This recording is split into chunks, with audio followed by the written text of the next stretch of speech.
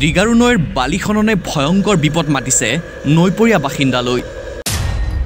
ক্ৰমে পৰিসৰ বৃদ্ধি পাব ধৰিছে দীঘাৰু নৈৰ সোণাপুৰ ৰাজচক্ৰৰ অন্তৰ্গত দীঘাৰু নৈত চলি থকা বৈধ অবৈধ বালিখননে ভয়ংকৰ বিপদ মাতি আনিছে।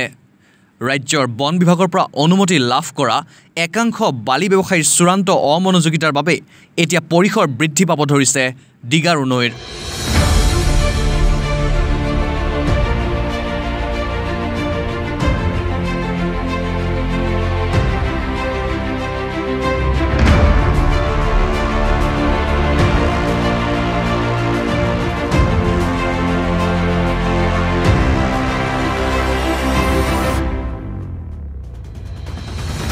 উল্লেখ্য যে নৈখনৰ পৰা মেচিনেৰে বালি খনন কৰাৰ ফলত নৈখনত সৃষ্টি হৈছে ভয়ংকৰ গৰাখহনীয়াৰ যাক লৈ এতিয়া শংকিত হৈ পৰিছে নৈৰ পাৰত বাস কৰা লোকসকল।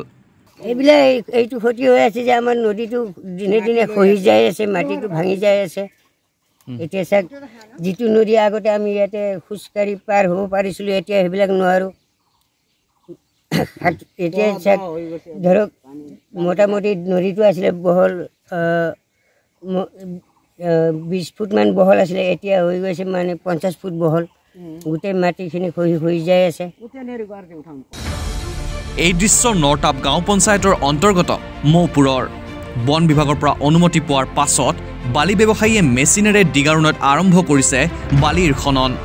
যাৰ ফলত নৈখনৰ বিভিন্ন স্থানত আৰম্ভ হৈছে গৰাখহনীয়া বালি খননৰ বাবে অনুমতি লাভ কৰা প্ৰতিষ্ঠান বা ব্যক্তিয়ে জনস্বাৰ্থৰ দিশটোৰ প্ৰতি লক্ষ্য ৰাখি ৰাস্তা ঘাট মেৰামতিৰ দায়িত্ব গ্ৰহণ কৰিব লাগে যদিও এইসকল বালি ব্যৱসায়ীয়ে বন বিভাগৰ সেইসমূহ নীতি নিৰ্দেশনাক বৃদ্ধাংগুষ্ট দেখুৱাই আহিছে।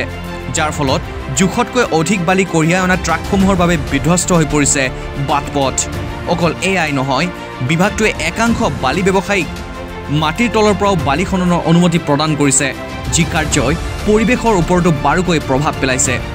উল্লেখ্য যে বালি খননৰ অনুমতিৰ বাবে খনন কাৰ্য চলোৱা ঠাইডোখৰৰ পাৰিপাৰ্শ্বিক এক অধ্যয়ন কৰি সংশ্লিষ্ট বিভাগটোৱে বালি উঠোৱাৰ অনুমতি প্ৰদান কৰে।